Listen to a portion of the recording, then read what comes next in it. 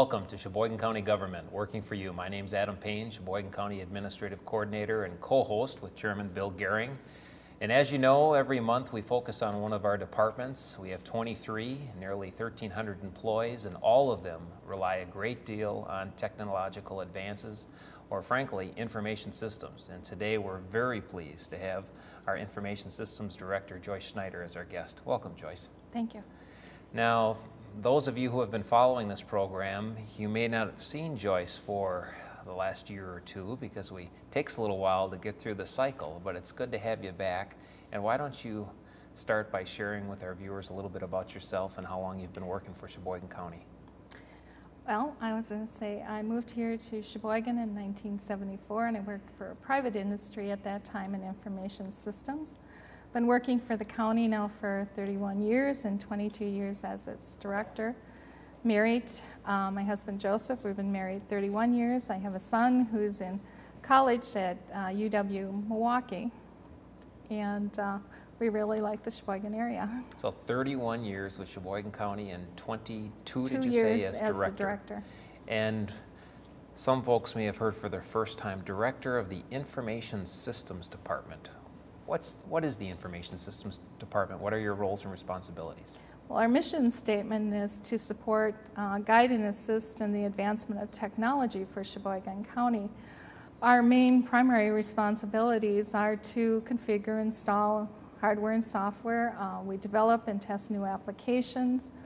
We maintain the county website. Uh, we do training for end users, like in Microsoft Office applications that are out there. Uh, we also maintain a help desk for the county where we have end users uh, can call in and get help on applications or trouble with a PC and they can log it either via email or phone. We also um, do some um, mailroom uh, processing for four different buildings out there for the Sheriff's Department, the courthouse, the administration, and the two healthcare facilities. So we've merged that part of the operation for the county, and that has been a real cost savings for us as well. So a real breadth of area, and I know we're going to touch on some of them more in a minute, but when you share that laundry list, just how many employees do you have working for you in your department, and how many departments are relying on the services that you provide? We have 14 employees in the department. There's 23 user departments that we service. Uh, we're also, as of 2004, we're also the payroll department, so we did pick up one employee in that process as well. And we have 13 remote buildings that we have connected either um, by fiber or by um, wireless communication. We have about 650 users on PCs and we maintain over 2,200 pieces of equipment. Staff rotate being on call, so we're on call 24 hours, and they carry cell phones and pagers with them. And you've got an outstanding staff, and I Very know they're in staff. demand. yes, very good staff. Chairman Gehring and I have an office in the administration building, as you well know, and uh, when you mentioned 650 people with their own PCs and about 1,300 employees, again, in, in Sheboygan County, nothing is more frustrating than coming in and having your computer lock up or, or having a problem. Yeah. And uh, frankly, that doesn't happen very often, and when it does, certainly you hear from people. yeah, we do. But overall, it seems as though things are working very, very well. Right, and we keep parts and stuff available, so if we do have some failures, uh, we can replace parts. We don't really have to always replace a PC or a monitor. We do have spares that we have out there as well too, so it's worked out very well. So I just mentioned one challenge, and that is making sure everybody has a computer up and running when they show up to work each day. Uh, what are some of the key challenges that you and your staff are faced with? I was going to say some of the current ones are um, some of the uh, public input now for information, and they want it electronically and doing business electronically. So you're trying to balance um, the sharing of information in the user databases that are in the county, uh, along with the networking and just the traditional way of doing county business versus uh, doing future stuff now electronically. And I see that going forward more so than uh, a lot of the other stuff that is out there, but the electronic communication is going to be a big issue. Is anyone using a typewriter anymore? I don't think so. I, I should say we have one in our department when we make, make out some labels, but hardly use it at all. So with as many people that are relying on the, the service that your department provides, and you're essentially a support department to all the other departments, as you mentioned, how do you go each year prioritizing who gets what? I mean, computers, after they're nearly, what, two, three years old, they're mm -hmm. almost getting outdated right. nowadays. How, how do you go about prioritizing and determining what employees are going to get what upgrades and when? As I say, if it's big projects that we have out there, new applications, um, major pieces of hardware, we usually put that in a five-year plan so we know based on the year when those are going to come due. Individual departments, we look at failures that are out there, uh, looking at replacing equipment and the use of the equipment. Um, with our Citrix farm, we can extend that life, some of those PCs, five, six years, and it depends on the type of applications.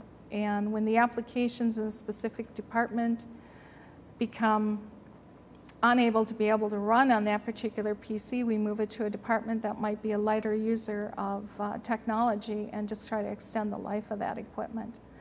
But it's pretty standard as far as the software applications that are out there, so functionality-wise, we can move the equipment readily, easily. Now, I don't want to leave folks with the impression that every year or two we're, we're upgrading computers, because that's certainly not the case. But on average, what is the life of a computer and especially when you have to, at some point, replace 650 of them as they get old? I was going to say, right now I would say it been, depends on the type of application. If it's a heavy use, usually three years. Um, normally we can usually get about five out of it.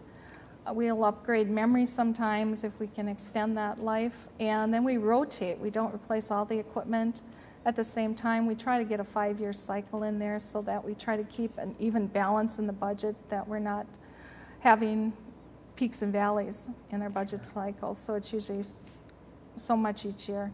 And the final question before turning it over to Bill, um, you know, you mentioned at the beginning that you've been with the county for over 30 years and director for 22. When you reflect on your tenure at Sheboygan County and specifically in your department, and let's just look at the last five years because I know how quickly things have changed. What are some of the key changes that you're seeing happen? Besides the equipment changing real quick, I would say the web development. We're seeing that remote users wanting to access and see government services online uh, so that they have an extended time because I'm sure they're working eight to five like all of us and then want to do uh, and get access to information after hours. Uh, we also see in the county remote users, um, people that are going to homes or uh, restaurant inspections that want to take their PCs and laptops with them and be able to do business on the site. So it's the networking issue, the remote, being able to do things wireless. And uh, I see that progressing again in the future. It's just going to be a different approach on how we do business at the county. Very good. let's talk a little bit more about the website. We've had it up about three years or so. Mm -hmm. I was pleased that I was one of the supervisors yes. who kind of pushed for us developing a web as county board chairman, I find it very handy that if I forget an agenda or something, I can look at it at home. I can look at the minutes mm -hmm. of a mm-hmm. meeting. But how else might our public use the website, the county website? User departments are putting more information out there now. Um, more so, we've seen the growth in the three years, and we've done that by statistics. And just within the last few weeks, we received information from the public health department. They're going to be putting uh, information on for the start of the school system. We've been doing surveys out there for the planning for smart growth. Uh, we've expanded the tree and shrub program that land conservation has out there, and uh, we also put out the 2006 Farm Technology Days um, website out there for them as well, which Sheboygan County is going to host next year. So the growth in that area and we've been doing tax collections. So it's kind of, if you come up with a wish list, we've been trying to put that out there for people and what they would like to see. We're interacting with the web uh, master, so information that comes in, there's suggestions sometimes of things they would like to see from departments. We've been putting that out there. I know Register of Deeds is starting to put out applications so that applications can be printed and filled out and sent to our departments. So it is becoming more automated. Really something great. Um, Yeah. If a viewer can't find it, if they put Sheboygan County into a search engine, they should find it. Otherwise, the address is www.co.sheboygan.wi.us. Another topic, uh, the Geographical Information System, otherwise known as GIS. Going to finance, I hear a lot about that. We seem to be spending money in that area. How has that become more useful to the departments and the public? GIS is digitized maps, and for the last probably eight years, the county has been working on um, with funds that we have received from the state and from the collection of uh, fees in the Register of Deeds office, building a digitized map, which means we have intelligence built into that map. So as uh, surveys are done, or people purchase property, or they split property, it can be done electronically. Um, it's stored out there electronically, so you're not worried about losing a paper copy or having it destroyed because it's backed up as far as security as well also. Um, we've been adding different layers to it, orthophotos uh, along with it. We've been using these maps now in order to create boundaries for floodplains and locate sanitary um, septic systems that are out there with permits.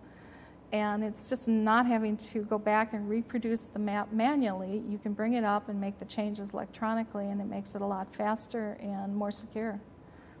Okay, talking about mapping, the Sheboygan County Atlas is another uh, area that your department has really been involved in. Can you tell us about what I would call the new, although we've had two or three versions of it, but it's, it's really fantastic.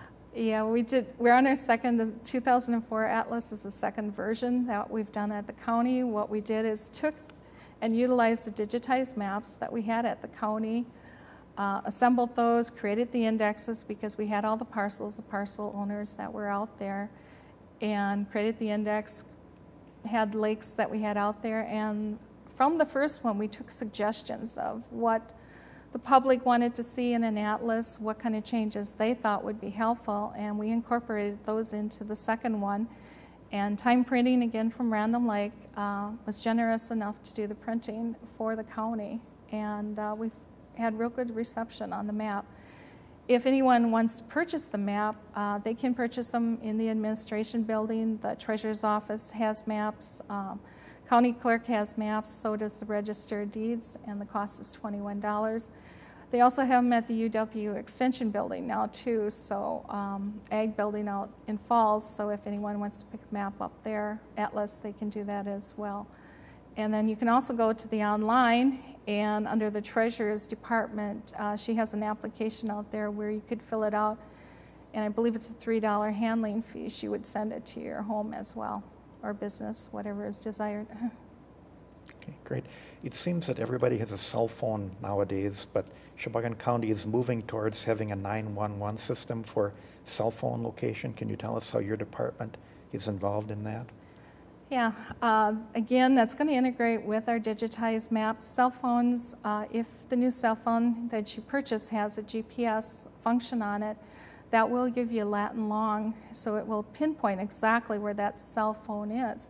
And we're working with the Sheriff's Department. They have applied for a grant to help offset the cost of the cellular phone system because equipment has to be updated at the county in order to handle those types of calls. We're going to be integrating the digitized maps uh, so that the dispatchers, um, the sheriff officers, and the squad cars can actually find the location and what road and where the access is on those maps. So it'll pinpoint it similar to the landlines that we have now out there. Okay. Is that probably a year, two years off, or any idea? Is that mainly the sheriff's department that would have? Well, I think it'll depend on um, what we hear back on the application, how much we're going to see uh, come in from the grant as far as dollars. And then there will be a project out in the five-year plan that the county board will have to approve if we're going to go ahead with it. So, yeah, it could be a year from now, more likely. I think it's pretty certain that we will go forward with it. The issue would just be how soon it How might soon, right? become functional. Okay. Um, then finally, document imaging seems to be all the rage. We have papers all over our offices. It would be wonderful if my office could become paperless, but it's not going to happen. How is the county, how is your department moving towards paperless offices? If anybody was ready for document imaging, it's the government. There's all kinds of papers. So we did get a project last year. We had some money in the 2004 budget to start an initial project and to come back and report as far as savings and uh, what we could do with the imaging piece. So we did bring up just this week, in fact, our new release of our financial package. And what we've done is integrate in all of our invoices for the county. Um, and we're going to go back to January, pick up January through July.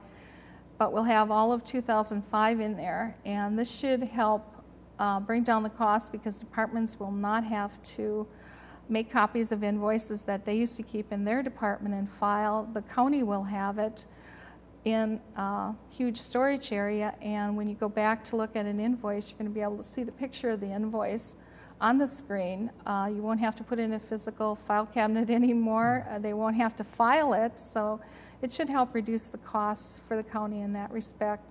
I've got a couple other departments. We're looking at payroll reports, doing something similar, uh, taxes as well, where we have to retain files for a number of years. Have been doing imaging for the registered deeds since 1992, so there has um, been some documented out there, and we've just been expanding on it since then. But it's it's a great project that's going forward. Okay, thank you. I can envision some of our viewers perhaps thinking, document imaging and picturing some person standing there with a camera and yeah. taking a picture of each piece of paper. how does document imaging work? What, what really happens there? As bills come into the county, uh, the finance department has a scanner, and whether it's a document feeder scanner, so they can take a pack of documents, put a separator in between there, and uh, process 50, 100 documents or more, you know, just during that one time frame. And then what they do is they're going to bring it up in the financial package, match it with the purchase order so that they know that it's authorized for payment. And once it's authorized, then it's available for viewing in the financial package. And then rather than a room full of folders and boxes and shelves, you literally right. have all that in a computer disk or yeah, storage, it's big storage unit, mass storage unit. And that was part of the issue is we were looking at how do we relieve some of the document and get, you know, get space because it's filled with documents out there right now. And this was one avenue is to start to put it onto disk and store it that way. Well, I'm sure people in this community, certainly people who follow their local government, appreciate that um, no matter what level of government it is, budget challenges are growing each year, and every year we hear of perhaps uh, levy constraints that might be coming down from the state or local units of government trying to hold the line. And every year that makes it more and more challenging for department heads such as yourself to put together a balanced budget and, and share that with the county board for their final deliberation and decision. Uh, even with that happening, though, we still have seen a number of improvements, and you just touched on some of them, whether it's the website or mm-hmm. GIS or the, the document imaging. Uh, what else has been happening, or what other projects are coming up in the future that are going to continue to improve our technology? We have a large um, project that we're initially starting for Health and Human Services. Uh, it's going to encompass all five divisions of Health and Human Services. And uh, it's going to be case management and also the billing portion of it. So that's going to start this year into next year, and that should automate that process and actually provide better services for the public out there as well, and giving them the information that they need uh, in order to make some of those decisions. We're going to continue on the imaging as uh, I've got about three other departments already that are on board that want to continue, and they see uh, with the reduction of staff and the need not to be able to have to file and to be able to retrieve information faster, they're seeing it to a benefit as well in order to do some of the imaging. Um, our 911 system will definitely, uh, based on approval, will go forward in some means, and we know for sure that we'll be expanding on the GIS or digital map because there is a lot of information out there from the ambulance and fire departments that they want um, districting of maps that they've never had done in the past. So uh, there is a need to get that out as well as that providing a better service to the public out there. I wanted to go back to the, the website discussion a little bit because uh, as Chairman Gehring mentioned, Bill was the county board supervisor that I can recall really it was the impetus. In fact, I can still recall his email to me saying, Yeah. we need a county website. And obviously it was my job to work with you and you to take mm-hmm. the take charge and, and lead it. And I think it frankly is one of the better county websites in the state. We've received good recognition and mm-hmm. feedback from people on it. And those who are following this program or interested in learning more about county government, you touched on some of it, but can't begin to express just how much information is on that website. You can go on there and learn about every department, uh, their mission, roles, responsibilities, get a sense of who to contact. Uh, if you're looking to link to the state level and get information about what's happening with state legislation and other affiliated organizations from the county. And Joyce, I just want to say thank you for your great work in that area and your staff. Uh, They've done a tremendous job, and I really hope people will take the time if they have uh, a computer at home or to go to the local library, as Bill Gehring mentioned, the website www.co.sheboygan.wi.us. And if you have any suggestions for improving it or any suggestions that you might want to see more information added to it, please either contact Chairman Gehring or myself, or certainly Joyce or her staff, because it's, it's a tremendous resource for those who take the time to, to look at it. Look at it. Uh, back to where we started, 30 years ago. You began with Sheboygan County. Earlier, I asked you, well, if you look back five years and you mentioned some of the uh, technology advances and, and what people are expecting now from a standpoint of taking computers to the work site and that type of hookup. But if you look back 30 years, what are some of the key differences that you're seeing Sheboygan, in Sheboygan County then versus now? A big key difference is uh, difference in technology. I mean, when I started based on mainframes um, versus laptops now and the mobility that's out there, uh, diversity of what we're trying to automate, and even the challenges as far as automating uh, the information and sharing the information. Uh, used to be individual departments and mainframe, you couldn't share information. The mobility has given us that chance to do that, and the networking is a big challenge.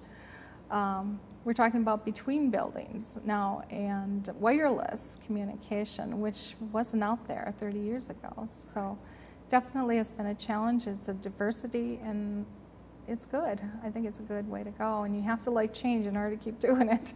When you started as director 22 years ago, how many staff did you have at that time?